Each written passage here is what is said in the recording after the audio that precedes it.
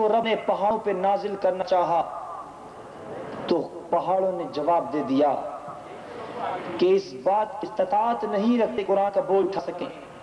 वो कुरान जिसके बोझ को उठाने के लिए समंदर की वसतें भी कलील पड़ गईं, वो कुरान जिसकी वसत जिसके जाल को संभालने की ताकत इस ज़मीन में न थी इस्लाम तो उसी कुरान के जलाल का बोझ उसकी तमाम वसतों के साथ अगर उठाने के लायक किसी ने खाया तो वो कल्ब इस्तवी ही निकला।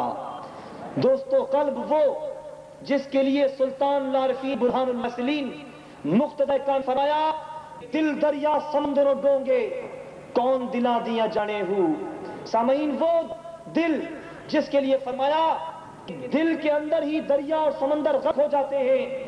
और इसी दिल के लिए रब ताला ने फरमाया कि कल्ब मोमिन अरशुल्ला, कल्ब मोमिन बैतुल्ला, कि ये दिल ही तो है जो अल्लाह का घर बनता है, ये दिल ही तो है जो अल्लाह ताला का अर्श बन जाता है। मगर अफसोस कि आज हम उसी दिल की अजमतों, उसकी रिफतों, उसकी बुलंदियों, उसकी तमाम अलूहियत, तमाम उसकी हकायक और तमाम उसके शवाहिद से यकसर महरूम होके ऐसी ज़िंदगी गुजर जो बेरब्त है। दुनिया और मालो जर हो जाने से खुदा का कुर्ब नहीं मिला करता, महज उस खाने में नहाने से दीदार मुस्तफी नहीं मिल जाता। ये दीदार, ये लज्जत, ये कुर्ब, ये मनाजिल उसी लम्हात में मिले करते हैं, जब आप दिल और सीना पाक और तैयब ताहिर और मुनवर हो जाए। तो खाने में नहीं, बल्कि अनों की नज़र से होता है। तभी तो किसने कहा, आँख वाला तलाश करो, नज़र वाला तलाश करो इसमें बीना वाला तलाश करो। हाँ उन्हीं की नज़र कामिल है कि जिनसे मुर्दा दिल मुनवर होते हैं बेजमीर जमीर जाते हैं, बेहाल बाहाल हो जाते हैं। रसूला की बारगाह में मिलने वाले तमाम सहाबा की जिंदगियों का अगर आप बहुत करें, आप पर हकीकत मुनशिफ हो जाएगी कि उनको उरूज, बुलंदी, मरातिब, कमाल, महज इबादत की वजह से मिले बल्कि इसलिए मिल गए कि उनको जात रसूल का कुर्ब मिल गया था। उनकी बुलंदियों के अंदर निगाह रसालत में काम करा करती थी। इस्लाम के अरबान ने नमाज़ किए नमाज़ तो बाद में हुई है, वो तो साहबा पहले बन चुके थे। साहबी वली से बड़ा दर्जा है, उनको यह दर्जा नमाज़ से नमाज़ तो बाद में भी है तो उनको यह दर्जा क्या मिला? हुजूर पाक की वहाँ से मिला।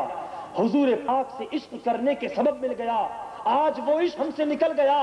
रहे रस्म रिवाज की, नारे, रस्म रिवाज की, दावे हमारे अंदर रह गए।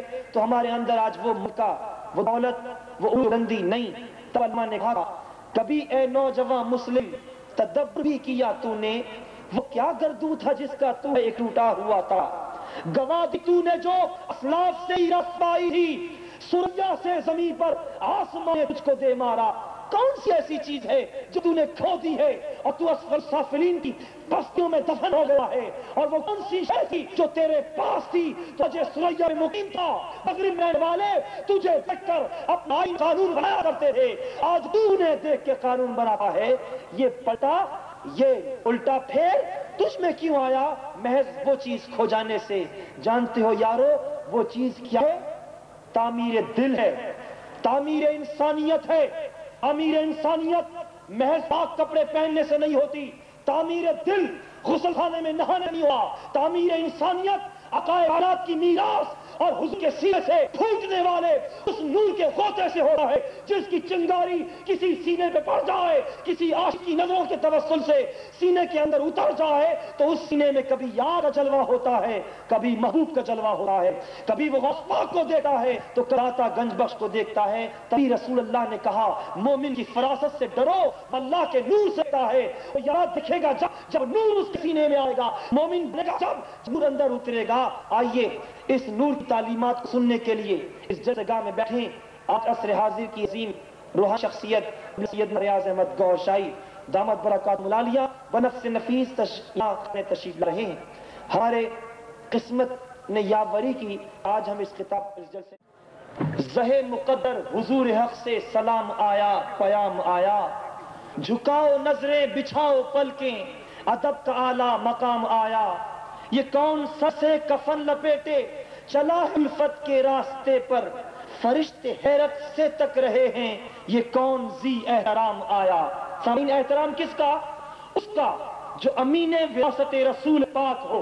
एहतराम किसका? वो, जो रसूल अल्लाह की आनत उम्मत के वासियों में तकसीम कर रहा हो। इज़्ज़त किसकी? जिसको अल्लाह और उसके हबीब में इज़्ज़त ही। हो एमएन की सीट पे बैठकर या वज़ीर आज़म की सीट पे बैठकर, वक्त इज़्ज़त तो होती है।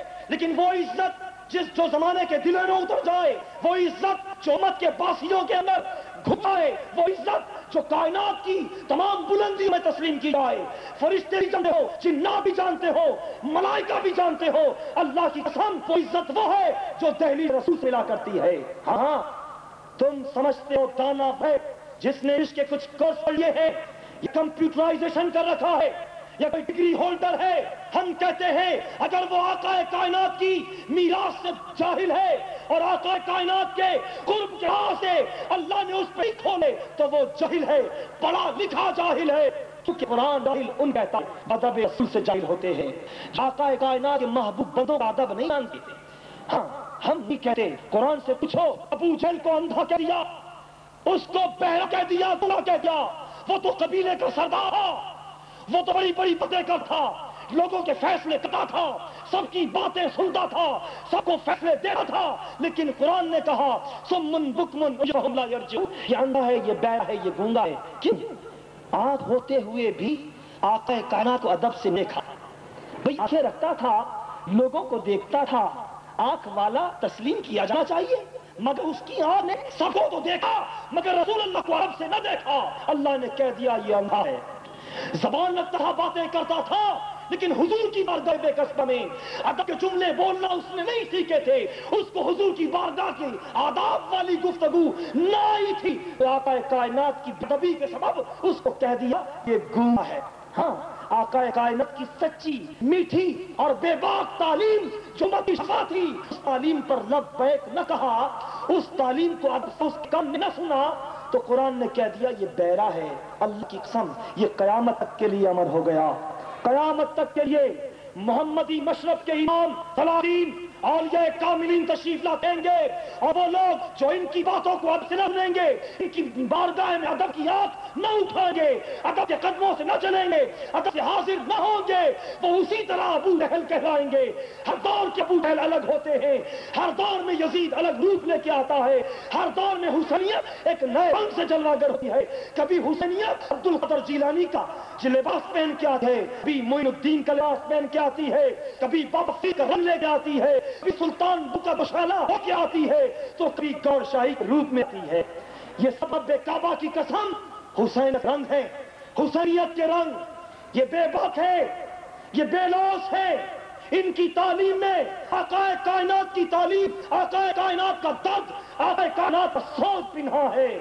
ये तुमसे चंदा तो नहीं मांग रहे, पैसा तो नहीं मांग रहे, वोट भी नहीं ले रहे तुम्हें मरीद भी नहीं बना रहे, तुमसे बैत भी नहीं ले रहे। मालो सर की भी इनको तमन्ना नहीं। रब ने जमींदार बनाया है, फिर क्या वजह है? ये दूर दूर जाकर गश्त करते हैं, अपनी तालीम मसीहाई का सुर फूक के लोगों के मुरादों को लोगों की मुर्दा सही, ज़मीन सीना को अपनी नरे कीमिया से मुनवर करते हैं। ये मुशक्कतें, ये तकलीफें झेल कर उम्मत का दर्द है ना तो ये फैज रहे हैं। मगर बेअदब है वो लोग। जिनकी अक्ल दंग है, नज़र है वो लोग जो फतवे लगाते हैं।